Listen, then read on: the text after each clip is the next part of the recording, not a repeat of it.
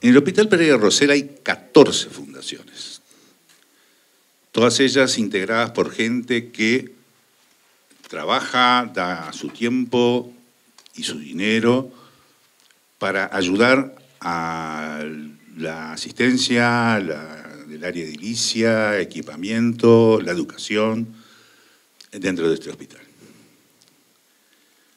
Pero Humaniza Josefina es mucho más que una fundación. Humaniza Josefina es un símbolo. Yo cuando conocí la historia de Josefina, realmente me conmovió, me conmovió. Porque quienes no la conocen, Josefina era una niña valiente, inteligente, con mucho coraje, y que enfrentó su destino de una manera ejemplar.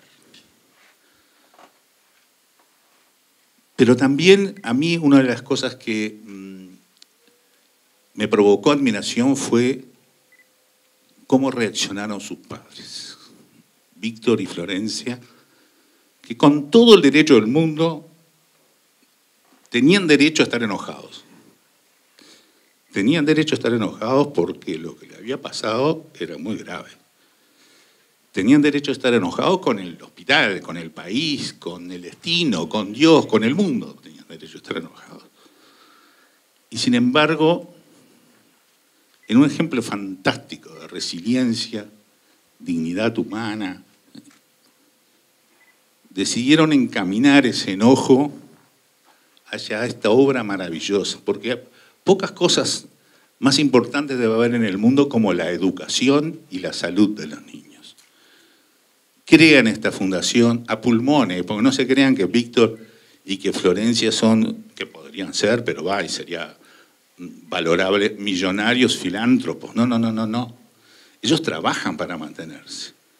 Y para mantener la fundación que sale y sale, hay que caminar, hay que poner tiempo, hay que poner mucho coraje y mucha idea e imaginación, porque hubo que imaginar cómo hacer esto.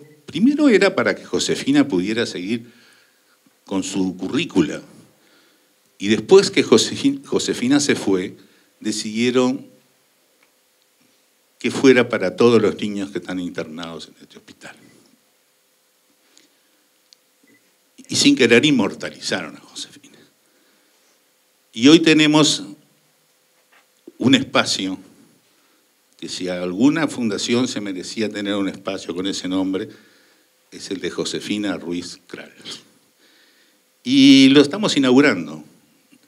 Es una alegría, es la culminación de un periplo largo que hicimos con Florencia y con, con Víctor y con Galia y con toda la gente de la fundación para alcanzar ese objetivo que creo que está muy bueno.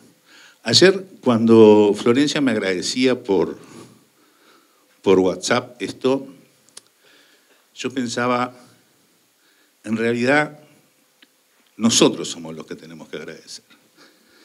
Porque nos han dado una lección de dignidad, de resiliencia, de, garra charrúa, para salir del pozo más profundo, porque miren que la tragedia fue enorme y transformarlo en esto tan hermoso que tenemos hoy acá y que tenemos todos. Yo creo que algún día alguien tendrá que escribir la historia de Josefina, porque, porque en realidad nos hacen sentir orgullosos de ser uruguayos, el ADN Ahora que está de moda volver a revivir el milagro de los Andes, la garra de los uruguayos, la forma de salir de la tragedia y transformarlo en algo inolvidable, la historia de Josefina, yo creo que Víctor y Florencia subieron su propia montaña y hoy estamos acá. Así que en realidad, más que agradecernos, nosotros somos los que decimos muchas gracias por estar. Lo único que voy a contar en un renglón nada más es cómo llegamos acá y lo van a ver en un videito de tres minutos. Esto empezó en el 2020 llevándole un modesto proyecto al ministro da Silveira y contándole lo que queríamos hacer como papás después de que Josefina había podido estudiar gracias al Anglo School que también está presente y que es un gran padrino de la fundación.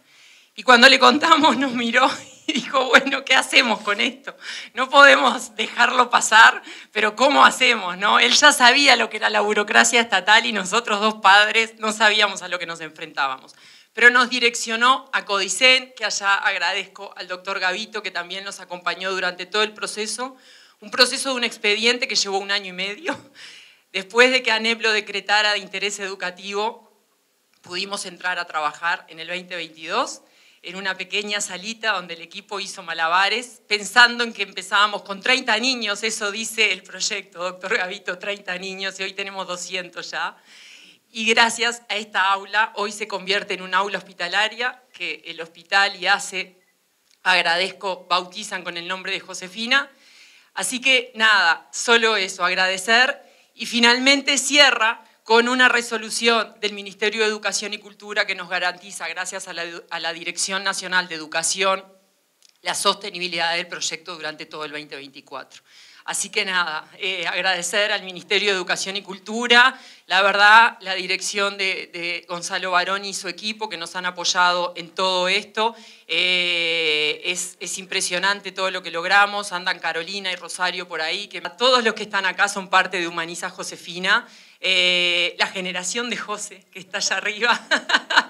Hay representantes de la generación de José que nos acompañan y nos apoyan y hacen posible que también siga día a día funcionando esto. En un día un poco donde pasan cosas mágicas, como suele pasar cuando, cuando Florencia y Víctor están en la vuelta, pasan cosas raras. Fíjense, hoy los que nos ha tocado estar en el gobierno Hoy estamos festejando los cuatro años de gestión, eh, no mañana, primero de marzo, porque como es bisiesto, este, hoy es 365 por 4, es, es hoy. Y efectivamente, de las primeras cosas que me tocó hacer cuando recién estábamos instalándonos fue recibir a Florencia y a Víctor que me acuerdo que me llegaron dos referencias personales al inicio que hicieron muy fáciles las cosas. Una era que lo mandaba Martín Lema, que creo que era diputado en ese momento, ¿no? Era diputado. Este, y la otra, la, la, fundación no tenía nada, absolutamente nada, pero ya tenía una madrina que era María Richetto, que, que está ahí sentado. Entonces, los, los nombres de Martín y, y, de María este, hicieron, hicieron su trabajo y, este, y enseguida Tuvimos esa reunión muy linda. Yo no los conocía hasta ese día y quedé muy impactado por la historia, por ellos, por lo que se proponían hacer. Y lo que cuenta Florencia es así, la, la, sensación era, qué proyecto precioso, qué cosa más linda, qué difícil poner esto en práctica, que hay que atar a burocracias enormes como ANEP, ACE, Ministerio de Educación, y tratar de que eso más o menos suene afinado. Eh, bueno, hoy, exactamente cuatro años después de iniciado ese, ese periodo, estamos festejando que esto es una realidad. Y eso es una alegría inmensa. Efectivamente, como decía el doctor Ayestarán, nosotros somos los agradecidos de haber podido dar una manito en esto, muy chiquita, pero acá los grandes héroes, sin duda, son Florencia y Víctor. Y, además de celebrar eso, quisiera celebrar solo una cosa más para, para no extenderme, que todos queremos ir a ver esas instalaciones. Fíjense que aquí están presentes, están representados tres ministerios, Desarrollo Social, Salud Pública, Educación, dos inmensas estructuras estatales como ACE y como ANEP, y eso es una victoria porque efectivamente la burocracia tiene esa cosa muy tremenda de que a uno lo encasilla y fabrica límites que conceptualmente podemos pensar que son innecesarios, pero que en la práctica son muy difíciles de pasar por encima. Y para nosotros eso es una obsesión. Nosotros hablamos siempre de la centralidad de la persona. El chiquilín que está estudiando y el chiquilín que necesita atención médica no son dos personas distintas. Por más que estén en contacto con burocracias distintas y que tengan fichas diferentes en alguna base de datos que no se tocan entre sí. Del mismo modo que dentro del sistema educativo, el chiquilín que en diciembre termina primaria y que en marzo empieza el liceo, no son dos chiquines diferentes, son el mismo. Y nuestro deber es pasar por arriba de esas barreras y de esos límites y de esos obstáculos que nos pone la burocracia, para tener siempre presentes, presente esa centralidad de la persona y hacer todos los esfuerzos necesarios para que nuestras acciones estén centradas en la persona y, los, y no en los organigramas, en los presupuestos, ni siquiera en la división entre lo público y privado, porque acá hay mucha conexión entre lo público y lo privado. Nombrábamos a la empresa Verca, que ahí está mi tocayo, este, que es un ejemplo. Me acuerdo de los primeros apoyos que tuve la suerte de poder ofrecerles a, a, a Florencia y Víctor fue decir, ustedes precisan psicopedagogos, ustedes precisan técnicos que les ayuden a expresar esta voluntad en un plan de trabajo. Bueno, y, de nuevo, la, conexión con actores privados que hicieron un fantástico, un fantástico esfuerzo y que se comprometieron enormemente desde el día uno. Y luego, también el Estado, por supuesto. Y efectivamente, es muy lindo que estemos todos aquí y, y también yo quiero, quiero agradecer a, al director nacional de educación, a Gonzalo Barón y a su equipo, porque se puso esto al hombro y se hizo todo lo necesario para que aparecieran esos recursos que, que no sobran nunca y que siempre los reclaman muchos, para conseguir algo muy importante que es el gran desafío. Acá estas cosas tienen siempre un gran desafío que es poner en marcha la idea. Y tienen un segundo desafío que es la continuidad. Bueno, y tenemos que trabajar para que esta continuidad esté asegurada, primero a corto plazo y en cuanto sea posible tratar de llegar a plazos más, más extendidos. Entonces, realmente creo que hoy es un mediodía de fiesta, porque se está concretando en su plenitud un proyecto hermoso y porque entre todos, pero liderados, nosotros liderados por Florencia y Víctor, y no al revés, conseguimos pasar por encima de muchísimos límites para estar donde hoy estamos. Así que gracias por eso a los dos.